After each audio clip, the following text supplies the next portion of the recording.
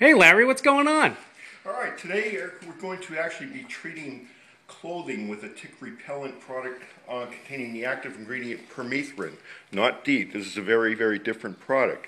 Um, but what we have found is this is probably one of the most effective prevention products for preventing uh, tick bites and tick-borne illness risk. So basically, these products are pretty easy to use.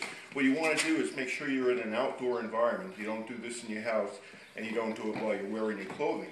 But it's basically as easy as applying Pam cooking spray to a, a bakeware pan. So basically, you get the product within about six to eight inches, and just lightly spray till it's slightly moist. They recommend about 30 seconds per side. And then flip it over and do the, the other side. Um, what I recommend, particularly on pants, is to turn the pant inside out and treat the inside of the cuff from, like, say, the knee down, because ticks might, you know, might come up from underneath.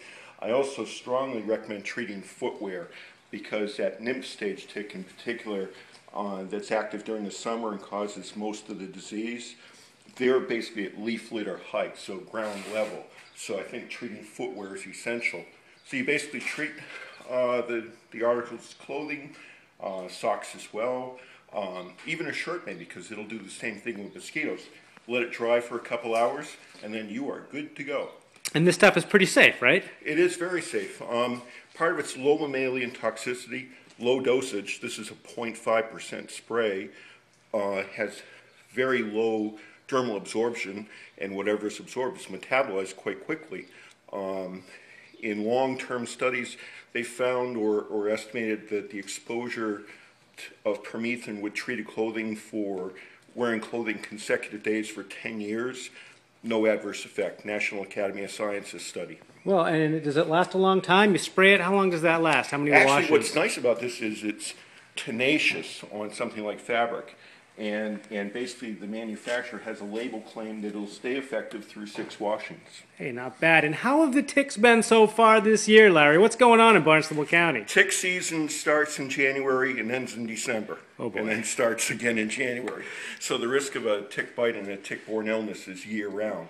Um, but so the, the adult stage ticks are the ones that come out in the fall. They're active through right now, but it's the nymph stage tick that we really start to talk to people about, particularly now. They're just starting to emerge.